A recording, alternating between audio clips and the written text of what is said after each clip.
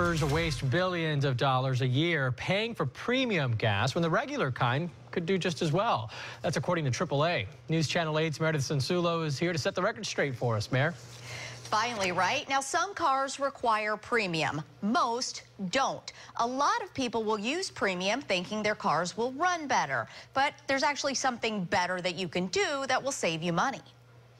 Putting premium gas in a car that calls for regular is siphoning money out of your bank account. More than 16 million people admit to using a higher octane gasoline, and just in the past year, those Americans have spent more than $2 billion. The majority of cars sold today are designed to run on regular.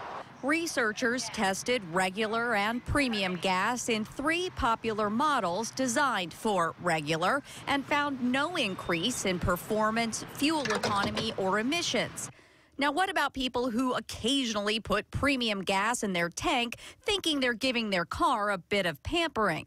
Some people look at it as maybe I'm taking my vehicle in for a spa day or I'm giving it a little treat, but it, we found that it really has no benefits whatsoever. If you really want to treat your car, go ahead and get your regular gas, but fill up at a station that has top tier gas. Top tier is proven to leave less residue on your engine, and your engine will perform better. Top tier has detergents in it that keep your engine cleaner.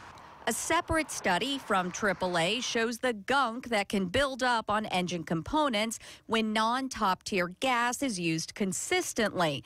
The result cheap gas leaves more in your pocket in the short term, but could cost you in the long term. All right, so I'm going to post a list of the stations that sell top tier gas on our website, WFLA.com. Give me a few minutes to do that. But basically, guys, it's any of the major gas stations. Yeah, but important to note right. here that your car manufacturer might recommend the premium gas. In that case, that's probably what you want to do. Yeah, always follow the recommendations, but unless your car is specifically designed for premium, then you can do regular. Okay. Which you say 70% are not. So, right. all right. Mm -hmm. Thanks, Mayor. It's 618 on this Thursday morning.